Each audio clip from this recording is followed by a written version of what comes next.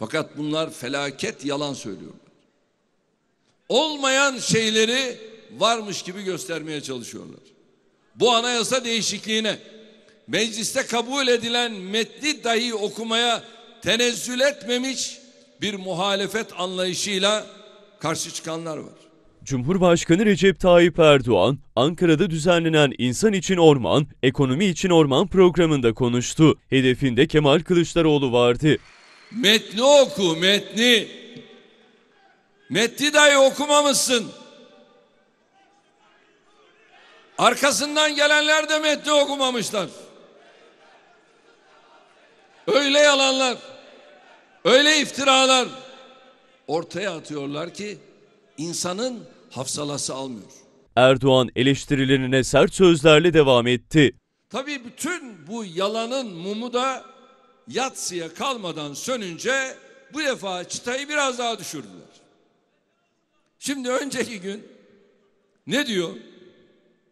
Cumhurbaşkanı tüm lokantaları kapatabilir diyor. El insaf.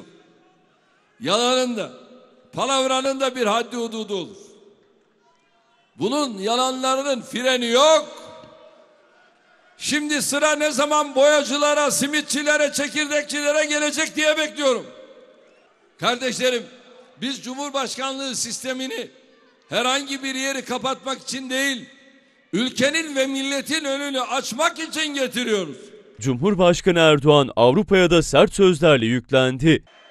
Kardeşlerim, biz muhalefetin derdini anladık. Onlar uzun zamandır ekmeden biçtikleri bir sistemi kaybedecek olmanın paniği içindeler.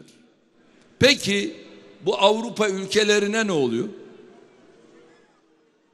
Avrupa ülkelerinin 16 Nisan konusundaki duruşları bizim muhalefetten daha sert, daha haşin, daha yaralayıcı. Türkiye'deki halk oylamasından hangi sonucun çıktığı sizi niye bu kadar ilgilendiriyor? Ne yaparsanız yapın. Topunuz gelin. Bu millet 16 Nisan'da gereğini sizlere gösterecektir. Erdoğan Avrupa'nın tutumuyla ilgili 16 Nisan'dan sonra gereğinin yapılacağını söyledi. Yıllarca bize Avrupa Birliği kriterleri diyerek dayattıkları ne varsa şimdi hepsini kendileri ayaklar altına alıyorlar. Şu 16 Nisan bir bitsin. 16 Nisan bittikten sonra masaya oturacağız, konuşacağız. Bu devran böyle yürümez. Gereği neyse Türkiye olarak da biz bunu yaparız.